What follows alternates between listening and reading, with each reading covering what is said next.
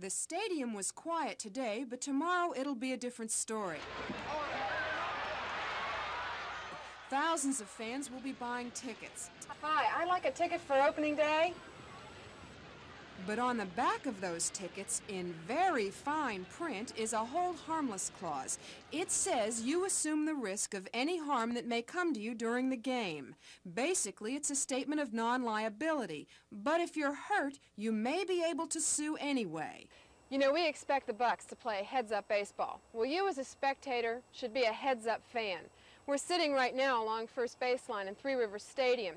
Once the game has begun and once you've taken your seat, you really have to look out for line drives and for broken bats because at that point you have assumed the risk of the game. But because of the protective screen that's in front of you, you really don't assume that much risk if you're sitting behind home plate.